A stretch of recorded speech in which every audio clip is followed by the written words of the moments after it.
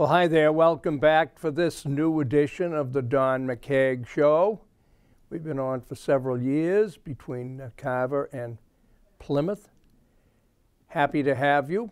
Hope you'll uh, listen and hope you will uh, be informed. Uh, I do a radio show every Saturday on Cape Cod. I, at one time, 20 years ago, when I first started, was on every morning with Ed Lambert. Uh, I have gotten into this business primarily as a, um, a very uh, surprised request from Ernest Boch Jr., who has passed away, who uh, had bought a television show, W, I mean a, tel, a, a radio station, excuse me, down in Yarmouth, and it was WXTK and still is. No longer in Yarmouth, no longer owned by the Boch family. However, I did it as a lark at first. Ernie asked me if I would uh, like to try it out in the afternoons, and that's how I did. And his reason was that supposedly those on radio, especially talk radio, are most successful if they have had experience in a variety of endeavors throughout their life. Would that we would be so for politicians today? But we'll get into that later. But I had been a businessman, was a businessman when uh, Ernie asked me. I was a teacher for 12 years, high school. I was a coach, football and baseball. I was an entertainer. I did a variety of things. I ran for office in 2000. Uh, so I had that as experience. I am continuing this at my age, in my 70s, because I find that it's very disconcerting the opinions expressed from so many who have no experience. It's very distressing as a former. I taught high school English. I taught history. I love history. There's a saying those who do not learn from history or the past are doomed to repeat it. We are in that mode right now. We are following along with the ancient civilizations that came to the same demise that unfortunately I see us traveling that path and I am far from a negative person. I am far from someone who wants things to be bad or wants things to be tougher or that, that kind of thing. I want people to be doing the things that over the course of time have proven to work. That's why this country was founded on Christian Judeo principles. Principles that followed the Bible. The Old Testament, which was the Jewish Testament pre Caesar, uh, pre Caesar, pre uh, Jesus, they suffered throughout uh, their existence, and we know the history of Sodom and Gomorrah. We know that there are cultures that fell apart because of a moving away from worshiping a God not necessarily a Christian God, but a strong belief in rules and regulations that make any group of human beings more successful. We learn to hear the sayings the road to hell is paved with good intentions. That's a very serious, serious statement. And it is proven. We have Today, this country's in the hands of do good people who are well intended perhaps, but they are more they are more concerned with their personal self esteem that they somehow are kinder than the rest of us. Those of us who say no, we somehow are, uh, are uh, diminished in their opinions of us. Parents who are tough Parents who used to spank Now, of course, people call when someone gives a spanking, even when it's warranted or when history has shown that proper upbringing, not abuse, has not damaged the child. Now, I therefore try to go on on a semi regular basis to talk about what I've learned, my experiences, not my opinion, my experience, fact, not fiction. We watch that television today, we watch that, new, read those newspapers today, and regardless of your position on a particular event, there's a, there's a malevolence there. There's a, an I gotcha. There's not kindness in the coverage. And I'm not just talking about the presidential situation, I'm talking about a lot of other uh, movements or other things that are people are trying. Uh, but this show is, a, is an out, growth from my radio show, which you can listen to if you like what you hear here. It's on every Saturday on 95.1 FM, WXTK on Cape Cod, and uh, that's from 11 to 1. You can call me on there. We don't have a call in in this particular venue, but hopefully we can go over some of the things that I have learned and that I want as a teacher. Uh, this is a teaching hour, I hope, uh, and a learning hour, I hope, and another side of what you're seeing, I hope. You know, we're no longer a country about disagreeing in, in the media. No longer. We're no longer conservative or Democrat. now it's strictly, I believe, rational thinking or irrational thinking.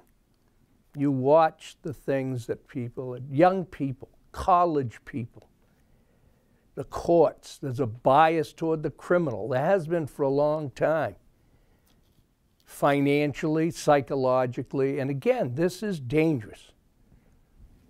Even Stephen Fine, but you know, we have a responsibility. Lawyers and the law and the judges have a responsible have a responsibility to the victims and especially to their families.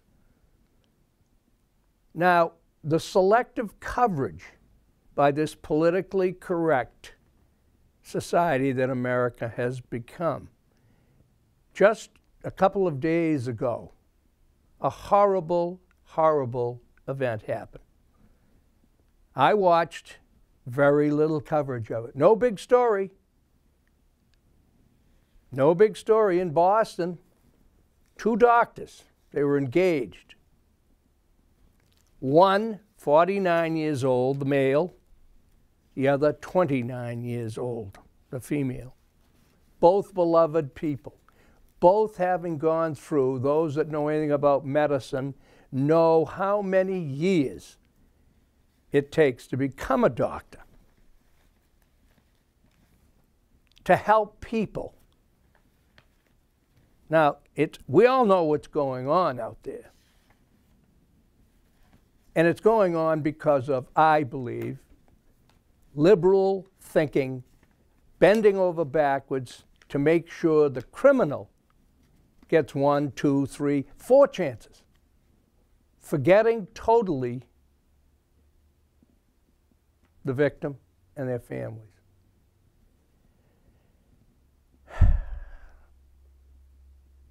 The man's name was Richard Field. His fiancee was Lina Bolanos. She's 38. Pardon me, he's 49. Convicted bank robber on a green card. The name Ben Pumanen Teixeira from Africa. 30 years old. Have you read it? Have you seen it? The prosecutor is a man named Jesse Bless. Now, there was a firestorm over this crime, not from the press, because they bend over backwards to protect what they call immigrants. I'm a first generation immigrant. My father came here when he was four. My grandparents came. They stood in line. I say this all the time to show the difference. They had to have a sponsor, a job, a place to live. They had to learn English when they got here so they could read signs. I know that's, a, that's not important. So they could communicate. Now we supply uh, translators at our expense, of course.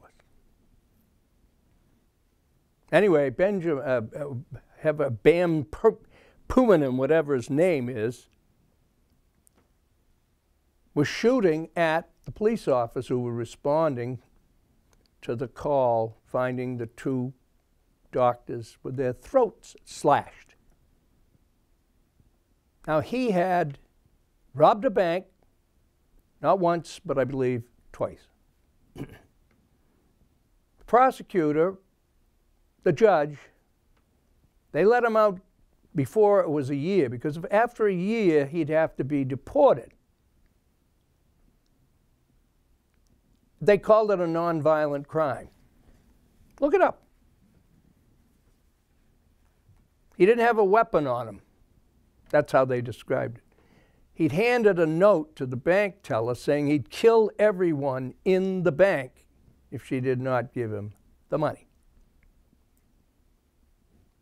Wonderful system here in liberal Massachusetts, where I've lived all my life.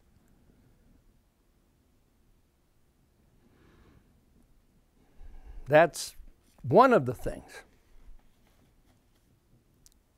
We have a system where the budget for the prosecution and defense of criminals in Massachusetts.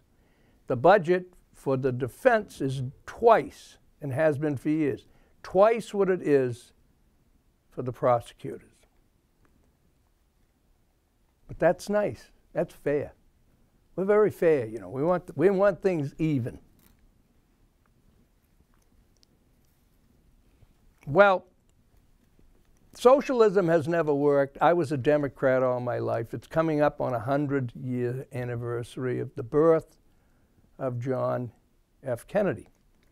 Ironically, the first day, the second day that I was on the radio on the Cape, it was an afternoon show from 3 to 5 was Kathy Brown was the girl that was had been on before.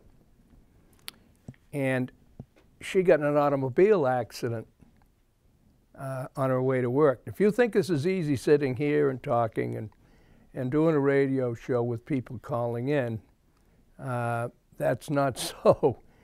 But uh, anyway, I uh, had brought some notes, but never ever thought I was going to be on solo but one of the notes that I had written to myself was it happened to be, it would have been Joseph P. Kennedy, the father, the patriarch of the family, it would have been his 100th birthday, September 6th, um, 1889, I think. So I was on the radio in 1989. Uh, that was my first time. But anyway, the Democratic Party under John Kennedy, I adored. I was a very uh, committed. I, I was uh, very liberal socially and uh, for social programs, and very conservative fiscally. That's John Kennedy. The John Kennedy that they will be celebrating, May 29th, would have been his 100th birthday this month, that won't be the media and all of the pro Democrat control of the media.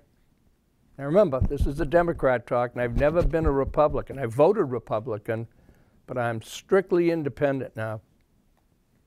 And I don't vote for Democrats. That being said, the John Kennedy they will glorify in the next few weeks did not believe and would not have had the policies that this Democratic Party and our senators and others would have tolerated. He was in World War II, was injured, saved a couple of fellow uh, men on his, on his uh, PT boat. He would no more, no more accept this foolishness of sanctuary cities where people here illegally. His family came from Ireland, as mine did. Played by the rules. Didn't might, maybe didn't like the rules, but you played by them. But they'll make it out that John Kennedy is what the Democratic Party is, which couldn't be further from the truth. Now, socialism is what the Democratic Party has become, and a lot of people, the schools will not teach socialism, and the schools, public employees, are dedicated to the Democratic Party. That's why we're going broke, because that's what socialism is, where government now becomes the controller of a majority or a large proportion of the wages.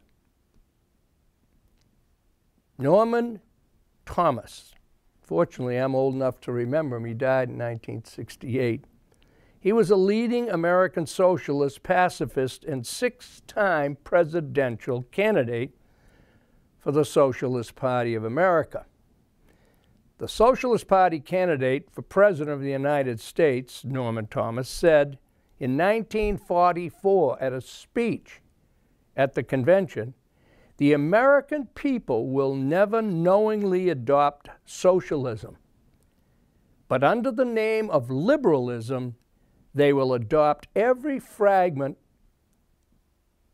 of the socialist program until one day America will be a socialist nation without knowing how it happened.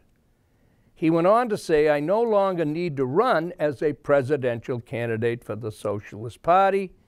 The Democratic Party has adopted our plan. Margaret Thatcher, former British Prime Minister, First Lady, I believe, ever made the statement years later, of course. The problem with socialism is that you eventually run out of other people's money. That's what we're doing. We're doing it locally. You look at your taxes. Again, as a former teacher, my father, my grandparents, John F. Kennedy, Ted Kennedy, who was a friend of mine, griped about his taxes. And to see that 70% of people's property tax goes to schools is outrageous. And again, it's based on emotion, not on good fiscal policy. That being said, we go back to Abraham Lincoln, who, by the way, I keep mentioning, we no longer celebrate on an individual day we have a Martin Luther King Day, which is fine with me, but the man who freed the slaves gave his life up to keep this country one. We don't deem it important that he have a special day, nor do we for George Washington, who without George Washington we would have no country. Believe me, nothing like this. Well, in 1863, Abe Lincoln, Abraham Lincoln, while president, said, The United States will never be defeated by a foreign power. If we lose our freedoms and lose our way, it will be because we destroyed ourselves.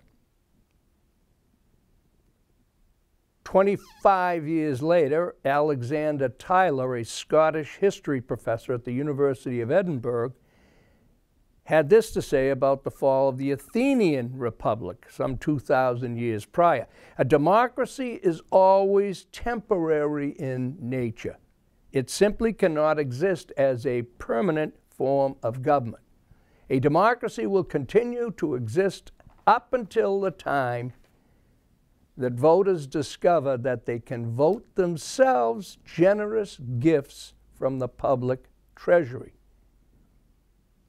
But from that moment on, the majority will always vote for the candidates who promise the most benefits from the public treasury, with the result that every democracy will finally collapse over loose, unacceptable fiscal policy, which is then always followed by a dictatorship. Does that sound, that sound uh, possible? No. It doesn't to liberal people. It doesn't to uh, people that are being paid by the public trough. I'll get into the costs of education today. I mean, when you think,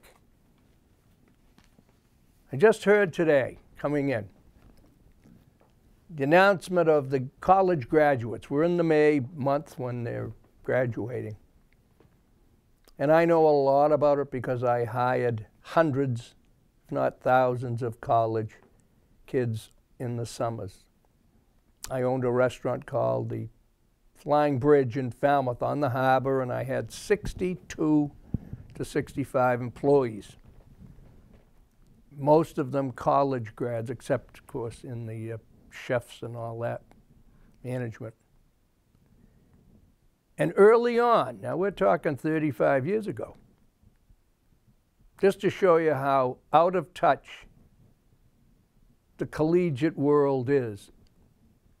I'm going to read you some because I'm, I'm at war. To me, the next swamp that should be cleansed is education. It is the biggest detriment. Oh, there's some great teachers. There's some people coming out of college that are definitely uh, going to do well. But most are going to come out of college with a debt that's going to hamstring them, going to keep their families low, all because salaries now have been determined just like this professor from Scotland said. Politicians wanting to get reelected, Democrats especially, they control the unions. To me, the uh, as a teacher, the worst thing ever happened was a teachers' union, ever. I didn't go in. My wife taught school. I didn't go into teaching to make a lot of money. I knew I wouldn't. I played the piano in the summers. I landscaped. That's the way it used to be. And we got full year-round health care, which they do now. They're now making quadruple that kind of money and suggest that they should work in the summer. They're outraged. Me work in the summer? 180 days, ladies and gentlemen. Just remember that. I know teachers don't like it. I don't care. Some of you don't like it because your daughter or your granddaughter is teaching or your grandson. I don't care. We're talking fact here. We're talking towns being broke. We're talking a state, just not just Massachusetts, these states throughout this country have pensions that they would not be able to pay if they come due in their time. They haven't got the pensions. Then we have the idiotic, uninformed politician like our own Elizabeth Warren, who badmouths corporate America, as, as do liberals, as do the Democrats, but they take all sorts of money from them Former President Obama just gave a speech, $400,000 for the big banks and another 400 for corporate America. No story here. No story here. President Trump leaves the toilet seat up and there's a big story. Just like right now today, he's fired James Comey, the head of the FBI. Two months ago, the press and the Democratic Party was screaming that Comey should have to resign, should have to, uh, should be fired. Trump does it, they're all over him for it. And they're justifying that because they're still hanging in there on that Russian nonsense. And it's nonsense. Doesn't matter to the politician who, again, they pay themselves so much money, they have a retirement after two terms that you and I would kill to have. And that's why they want to stay in. And that's why I've said we should have term limits for every single one of them town, state, federal. The answer is well, if they don't get paid, you're not going to get the quality. That just doesn't, again, that's another pie in the sky bunch of nonsense. Ever since they've raised the costs, uh, uh, uh, the salaries, and the costs to the towns, and the state, and the federal government, in general, the quality of educators has gone down because there are those that are going into teaching and going into other government jobs because it's easier. And they're well paid, not much stress. And now you hear all these teachers talking about how horrible it is to teach school, how these kids, not in Carver, not in, I mean, you get, I had all this. So this is what I mean. I know what I'm talking about. I had the tough kids, I had the little kids, I had the fat kids, I had all of that. Oh, maybe that's offensive to someone, right? The do gooders, you can't use those terms. Let's go back to Abraham Lincoln. Another thing, though, that, that ties into this. You cannot help the poor by destroying the rich. Who's trying to destroy the rich? Not the Democrats that are rich, but they're trying to destroy a president because he's wealthy. There's no, there was no story on the Kennedys' wealth when Jack Kennedy was president because it isn't relevant. What's relevant is what kind of a background is he capable or she capable of running the country? You cannot strengthen the weak by weakening the strong. I saw this in sports. There's another bunch of nonsense which now we're, uh, we're seeing the results of with all these picketing and crying. I've talked about this when they ever, after the election, when they had calling classes off in college, no less. Teachers crying, crying in a classroom over a presidential election. Grief counseling. Well, it extended into helping the weak. In other words, those kids I coached, as I say, hardest things, one of the hardest things I've ever done in my life was to have to cut a really good kid who had tremendous desire, that wanted to play football, that wanted to play baseball, but did not have the physical fitness or the ability. And what so many of these do gooder and these parents who get their nose into it and are allowed to is you're jeopardizing a kid's health and safety. If they are not coordinated well, if they are not physically strong, they can get hurt and hurt badly. Oh, but don't talk about that. Well, then came the, the, the, neat little thing that's still with us, and now we've got 40 year olds where every kid has to have a trophy. Every member of a team has to get a trophy. And you can finish in last place 10 games out and you're going to get a trophy. Doesn't that make sense? Everybody wins in life. I'm getting wound up here. You cannot bring about prosperity by discouraging thrift. We don't have any thrift in government today in these towns spending. Take a look. Take a look in Carver. Take a look in Plymouth. Show me one area where one employee or anyone is trying to save the town money. How many police details do they want to cut down?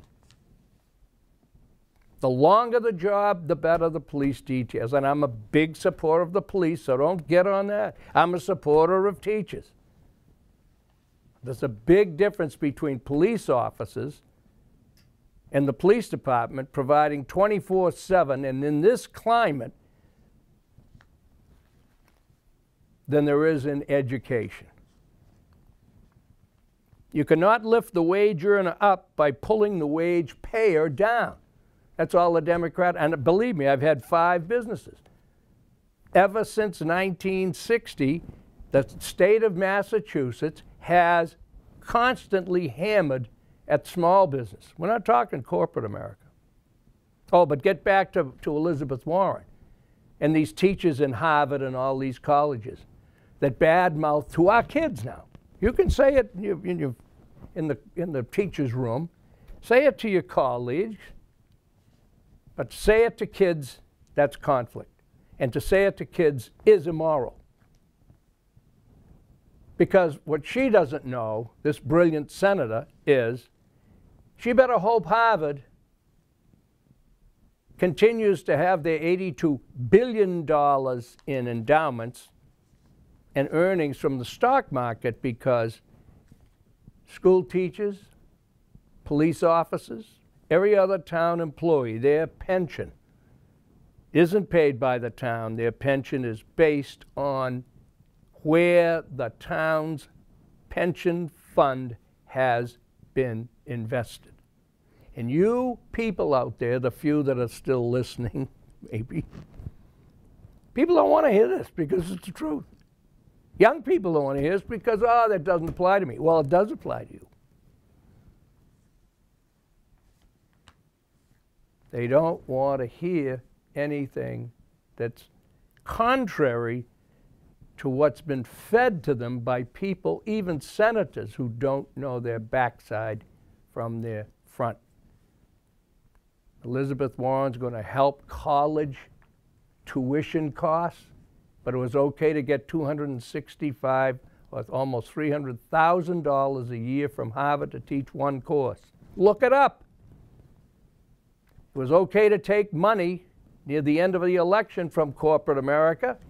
No story here from the Boston Globe. No hypocrisy there. But she won't even admit, and she's not the only one. Markey, the rest of them. Teachers who badmouth corporate America in front of their kids. Well, they better hope that the pension fund is invested in Exxon Mobil, all the big companies, because that's where your pension comes from. But heaven forbid anybody anybody tells that. And here's the one today that bothers me the most. You cannot further the brotherhood of man by inciting class hatred. That's what we have in the liberal left today. I kid you not. And there's many people, uh, friends of mine, they're liberals. I understand liberals. I understand some of their beliefs. I don't have a problem with that. What I do have a problem with is the extremity that it has gone, the extremes. You cannot build character and courage by taking away people's initiative and independence. A welfare state, ladies and gentlemen, is unhealthy. And instead of us trimming it down, trimming it back, we have done all we can, the powers that be in the Democratic Party, to make more and more people dependent on them. You cannot borrow your way out of debt or spend your way to prosperity. And last, Henry Ford came from a small background, invented the, well, after uh, the car, obviously, but he, uh, he was the first one to have an assembly line which changed uh, so many things in terms of being able to supply the huge growth of the American population, and then, of course, wartime. But the wisdom, again, no college degree. Andrew Carnegie, no college degree. You go right down two thirds of the people that made this country great, they didn't go to college.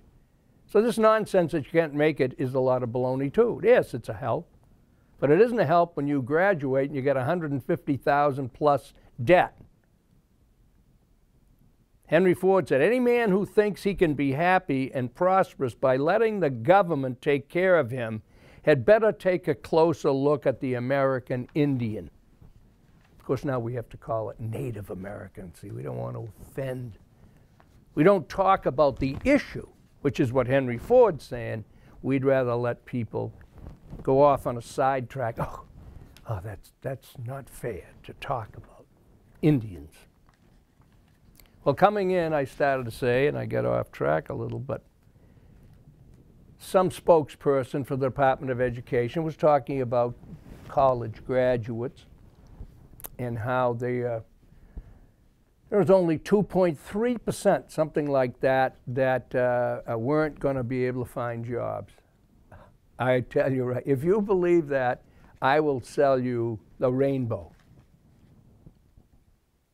But that being said, in the, the, the, dialogue this person was saying, it was just on the news, on the radio, coming in here local. They, this is how, how smug the elite are. And that's, what, that's what's running the, the Democratic Party, and that's what's running the liberal arm of it. The elites. The know, they know more than we do. You know, they have money, a lot of them. Uh, they, want, they don't mind paying, uh, you know, ten or twenty thousand dollars for their property tax because their income is like three hundred or four hundred or whatever, or they've got a trust fund. I lived with this, so I know this too, in case you think. And it's not mean spirited, this is called facts. But it's the person making $30,000, the everyday worker, my waitresses, my bartenders, my landscapers, my painters, the people who work for me for 50 plus years. It's them and their families that own a small home and their property tax is ten and twelve thousand dollars. That's going on in Carver. In Plymouth, I don't know how they're going to afford to live in Plymouth after they pay for the uh, the septic, huge uh, expense, a new another school, rebuild of Plymouth South, and the, uh, what is it, the 400th anniversary of 1620, which they're already spending money. I'm sure they're getting grant money. I love there's another one grants, federal grants. It Doesn't cost us anything, federal grants. It's not you and me paying for it, it's, of course, the, the grant writers. it's the politicians, they're paying for it. Well, anyway, so that's how this particular news report came. They don't, they, they finally said, this gentleman said, well, there may not be the jobs that there used to be, but uh, even though salaries will be less, the percentages are still very high. Now, do you pick up on that, you parents that have just been pen, spending 40 and 50, $60,000 a year to send Mary or Billy or whatever to college? Who's going to pick that up? But when they graduate, never mind those who can't get jobs, and there are a lot. But how about those who can't make enough money in the job they get to pay back their debt? How about the huge influx of 35 to 45 year old couples with kids who are moving back in with their mothers and fathers because they can't afford to pay their bills, a large part of the bills being education. Take a look at what we're paying the heads of our colleges around here in this state, just the state. And I'm talking about community colleges where they get a house, they get transportation, they get full insurance, and they can make from 93,000 up to 180, 190. I went to the University of Massachusetts in Amherst. The president up there, under whom there are like five or six by the way, thanks to uh, Billy Bulger. Billy Bulger took that job, got that job. Now it's years ago. It paid $160,000. In five years, he was making 500, and he had three others as his aides at 150. Take a look at your high school principals. See what they're making. And on top of that, they have an assistant principal. Then they have a dean of this, a dean of that, a dean. I saw this all coming when I was teaching.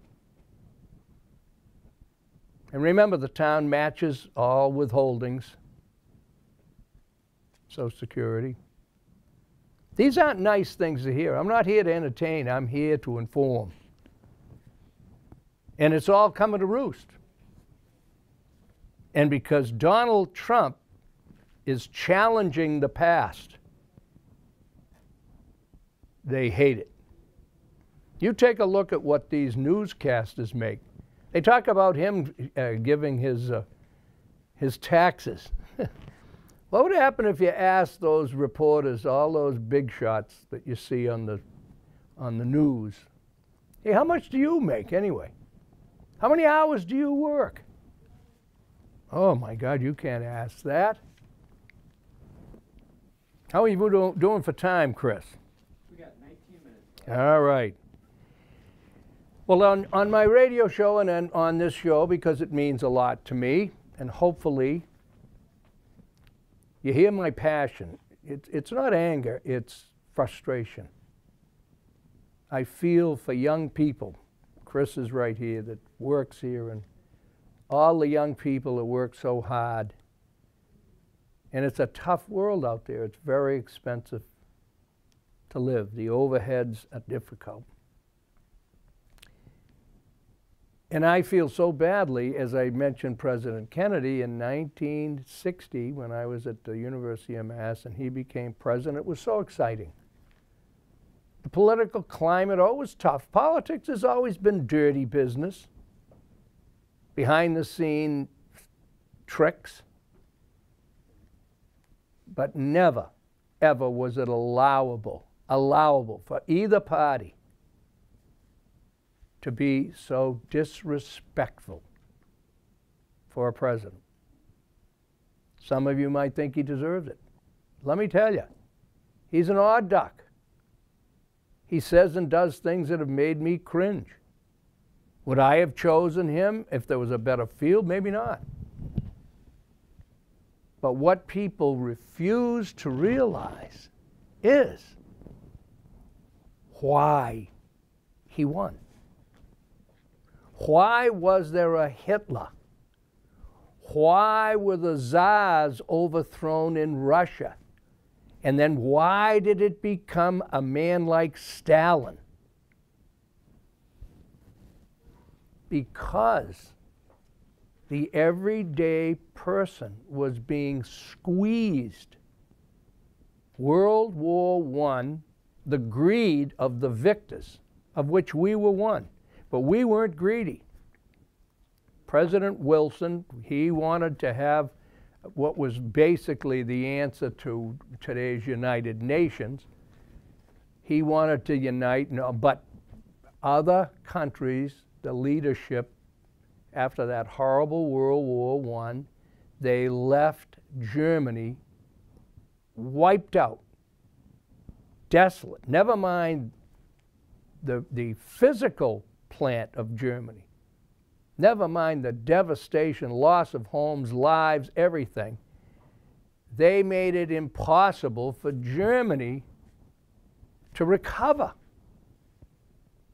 They were taking marks, German marks, which I think the, were the equivalent of our dollar, in wheelbarrows where they could, and, and to buy a quart of milk or a loaf of bread.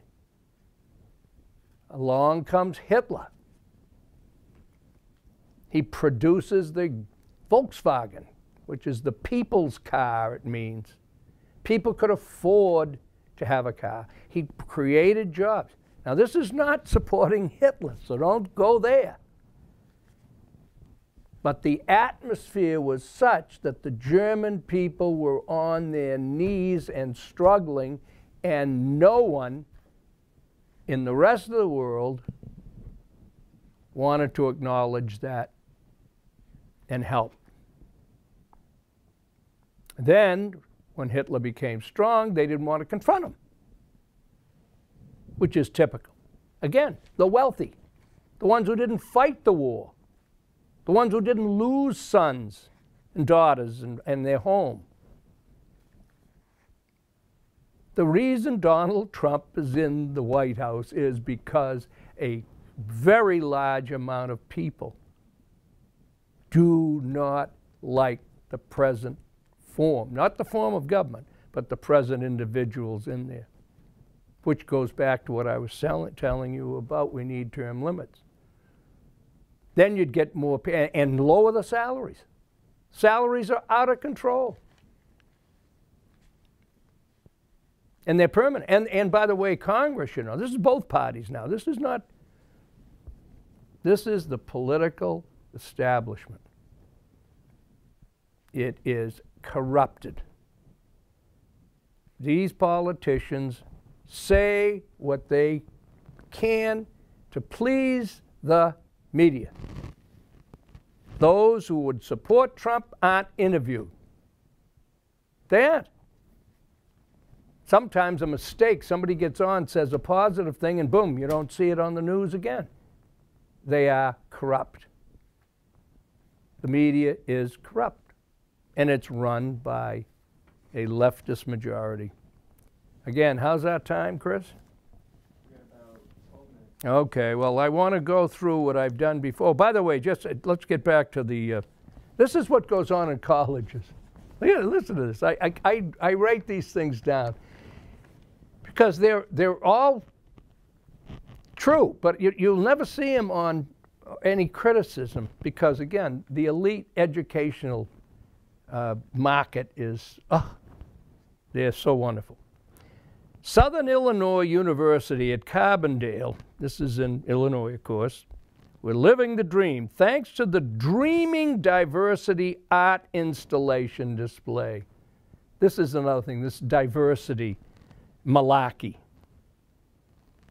The school's Morris Library napkins, that's in quote, in March, to help students dream of diversity. They have the, they have the student, these are college kids. In the library, they have them take little napkins and lay there and dream of diversity. All the blacks and the, the yellows, the India, just lay there and dream along. After the NAPS reports the student run Daily Egyptian, undergrads are encouraged to write down their dreams and pin them to a 15 foot high fabric scroll hanging in the library rotunda. This is college, folks. A labyrinth was installed nearby to guide students to their dreams. We're going to help this again. Grief counseling because Hillary Clinton didn't win an election or anyone else. Grief counseling, calling off an exam, rooms set aside to cry. 20 year old kids going out into the world. Boy, that's great preparation. Okay, according to artist Marissa M. Posta, who created the exhibit as a quote, a metaphor for the general path to diversity, hmm, that'll put you to sleep. Meanwhile, an SIUC, that's Southern Illinois University at Carbondale, students slumbered. They were taking naps while millions of other students in China, India, and elsewhere were wide awake, mastering engineering, physics, business, and mathematics. Yeah. You wonder why corporate America for years has been leaving the country, going to India, to China, to other countries to recruit jobs. You won't hear that from the uh, NEA. I'm a teacher. I know what goes on, what did go on, and it's worse. Imagine taking naps to bring in diversity when you're supposed to study. Now, when I went to University of Mass, again, common sense is dead. Um, this is a long time ago we're talking. We're talking almost 50 years ago. Tell me what brain, real brain, that cares about kids' attention. That's what education is, and that's what real learning is, is discipline, self-discipline. where you focus on what's at hand, whether it be a subject, a sport, a musical instrument, a marriage, a parenting job, focusing on it. It's not la di da worrying about other side events. Doesn't mean you don't care. It is, it just is so incredible. Well, up at UMass, about five or six years, late 60s, after I left, some brilliant person, of course, the, the, the state took over, the Democrats took over, and spent fortune up at the university in Amherst, this was. And they came up with a brilliant idea of co ed dormitories. Now, just, just tell me, tell me this. Why? We used to have to get a date home during the week by 10, 10.30 at night. We went out on a date or went to a, we used to have dinners, mixes, fraternities and sororities and other schools. On the weekends, if they stayed on campus, you had to have them home by midnight, maybe one, I don't know. That was it. They used to flick the lights on and off, the house mothers. Oh, that's a terrible thing, isn't it? To make kids know that it's important to be home, to be studying, to be disciplined. But the liberals have all the answers. That's why we have so much improvement in drug abuse, suicides. But don't look at that. Look at other things like can you imagine expecting people that come into this country to come in legally, to stand in line like so, so many thousands?